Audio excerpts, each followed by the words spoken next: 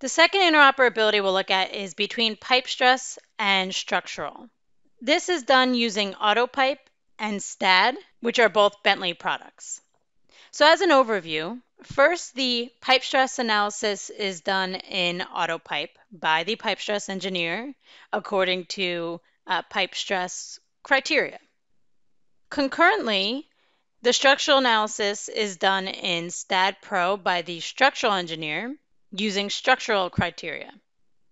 Once both teams have their models and analysis passing their own criteria, the integration can start. And this is done by exporting the piping model, the supports, and the loads from AutoPipe to STAAD through a file called a PipeLink file.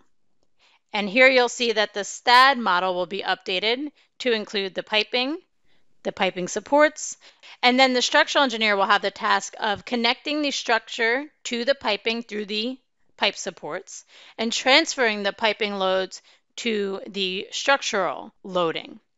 Rerunning the analysis, now including the piping loads, and making any changes as necessary, maybe adding bracing or increasing structural sizes to again pass the structural criteria.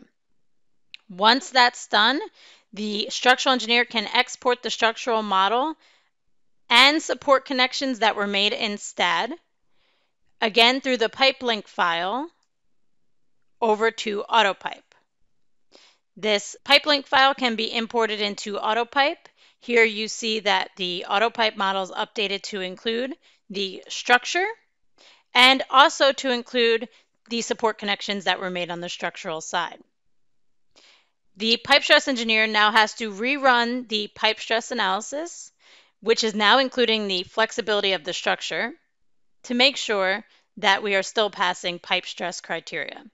If not, changes can be made, and this can be an iterative process, but again, an automatic iterative process. We're getting rid of any manual transfer of data. So this integration between AutoPipe and STAAD is the only one of its kind and it can be a single or multi-user modeling environment, and it has full bidirectional exchange of data. So the end results lead to faster design.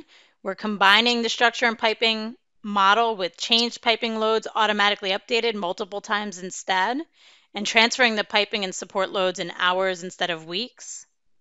We're including the combined structure and piping model to analyze the true combined stiffness for more accurate, safer structural and piping designs.